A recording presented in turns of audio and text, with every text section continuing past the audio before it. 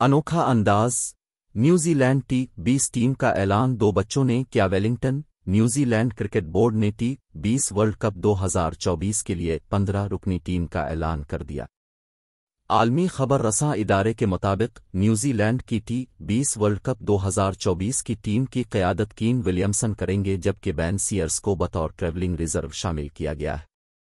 Team में Finn Allen, Trent Boult, Michael Bracewell, Mark Chapman Devon Conway, Lockie Ferguson, Matt Henry, Daryl Mitchell, Jimmy Neesham, Glenn Phillips, Rachin Ravindra, Michael Santner, Tim Southee और एश सौडही भी शामिल हैं।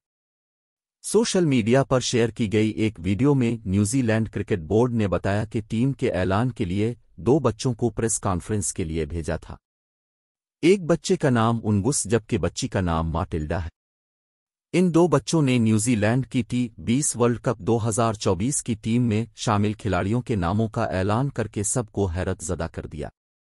दुनियाए cricket में team के ऐलान का ये अनोखा और नरला वाकया है, जिसे काफ़ी सराहा जा रहा है। इस मौके पर न्यूजीलैंड के कोच गिरी स्टेड ने टीम के लिए मुंतखब होने वाले खिलाड़ियों को मुबारकबाद देते हुए कहा कि वेस्ट इंडीज का मौसम, पिचेस और मकामी हालात काफ़ी मुख्तलिफ़ होंगे और इसी चीज़ को मद्देनज़र रखते हुए स्क्वाड का इंतखाब किया है।